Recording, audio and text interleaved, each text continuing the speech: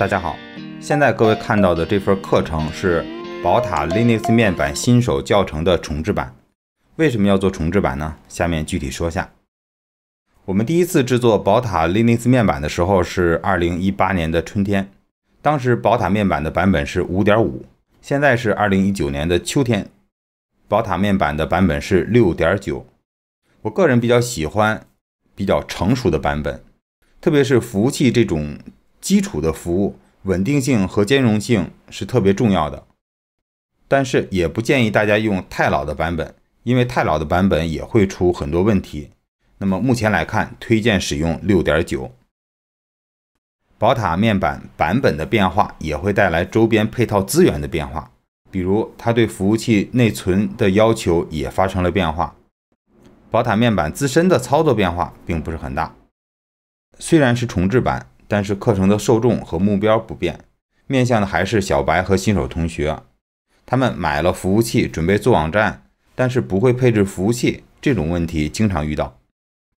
我们的教程都是以经验分享为主，从零开始购买服务器、安装宝塔、设置宝塔、添加站点、放置 WordPress 网站等等。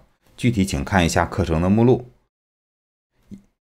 在教程演示过程中。我感觉容易产生问题的那些环节，会讲一些扩展资料，便于大家理解和关联信息。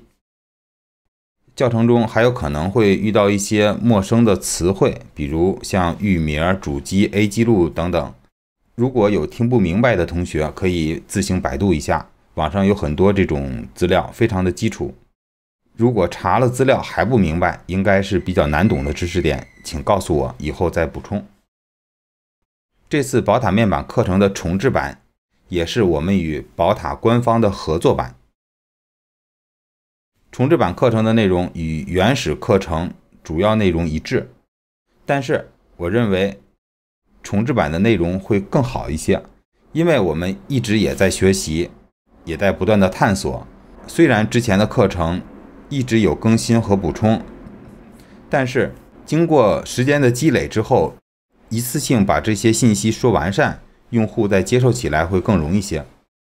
重置版的课程会单独发布到另一个平台上，我们的原始版教程是在网易云课堂，重置版的内容也会追加到原始版本的课程之中。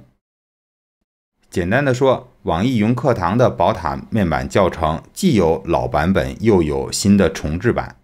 那么另外一个平台呢，只有重置版的教程，没有老版本。关于重置版课程的介绍就到这里，我们下次课见。